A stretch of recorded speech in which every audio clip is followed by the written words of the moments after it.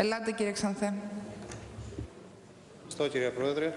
Ε, τις προηγούμενες μέρες είχαμε προειδεάσει τα μέλη των Επιτροπών που συζητούσαν το νομοσχέδιο ότι θα καταθέσουμε ένα πακέτο τροπολογιών που θεωρούσαμε ότι είχαν και επίγοντα χαρακτήρα και είχαν και συνάφεια με το νομοσχέδιο με την έννοια ότι ε, έλυναν προβλήματα ε, λειτουργίας και ενίσχυσης του δημόσιου συστήματος υγείας που αντιλαμβανόμαστε πάρα πολύ καλά ότι έρχεται να παίξει ένα πολύ κρίσιμο ρόλο σε αυτή την περίοδο της ανθρωπιστικής κρίσης.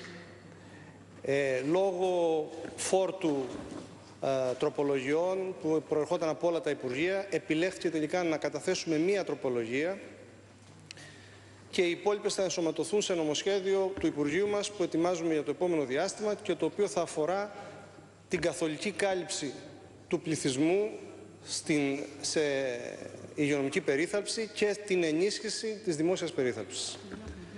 Ε, η τροπολογία που επιλέξαμε να καταθέσουμε είναι πολύ κρίσιμη και αφορά την παράταση της θητείας του επικουρικού προσωπικού όλων των κατηγοριών, γιατρών, νοσηλευτών, παραγιατρικού προσωπικού, βοηθητικού προσωπικού, το οποίο υπηρετεί αυτή την περίοδο στα δημόσια νοσοκομεία.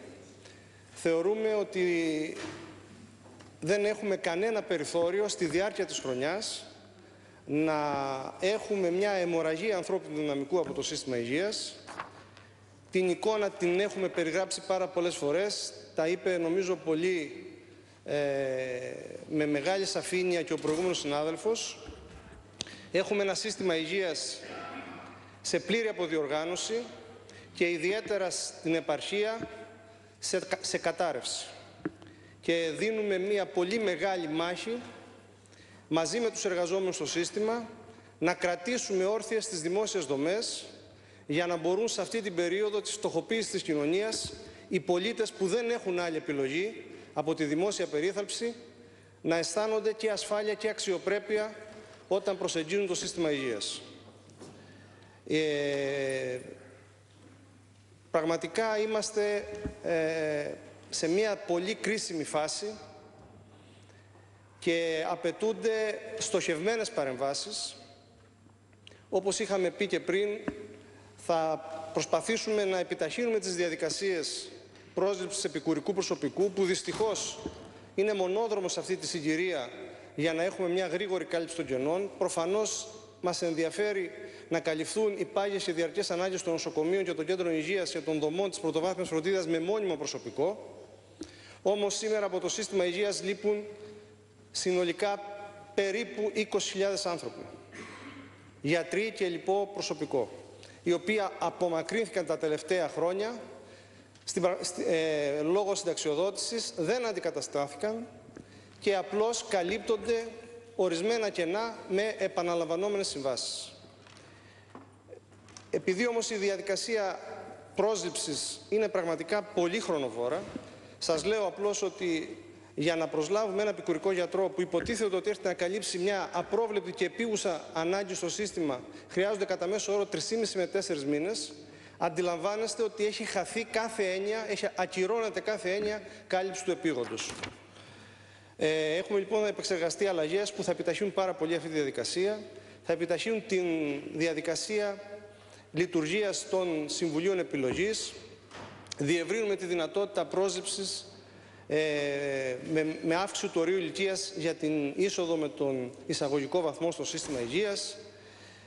Θα αντιμετωπίσουμε τα θέματα της, του εφοδιασμού των μονάδων της πρωτοβάθμιας φροντίδας που αποδείχθηκαν ότι οι ΔΥΠΕ δεν είχαν τη δυνατότητα να καλύψουν τις ανάγκες τους στη φετινή χρονιά με παράταση μέχρι το τέλος του χρόνου κλπ. κλπ.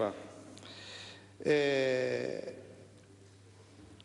νομίζουμε ότι αυτό που χρειάζεται σήμερα το σύστημα υγείας είναι ένα σχέδιο έκτακτης ανάγκης έχοντας επίγνωση της σοβαρότητας και της κρισιμότητας περίοδου, ένα σχέδιο έκτακτης ανάγκης που θα επιτρέψει να παραμείνει η δημόσια περίθαλψη στη χώρα μας όρθια και λειτουργική.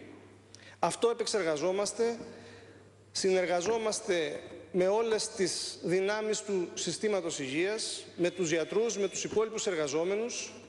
Θέλουμε να εμφυσίσουμε ένα άλλο εργασιακό και κοινωνικό ήθος στο σύστημα υγείας και θεωρούμε ότι αυτή η κορυφαία πολιτική προτεραιότητα είναι προσβλητικό να θεωρείται από κάποιους ότι είναι μονομερής ενέργεια ή δημοσιονομικός εκτροχιασμός.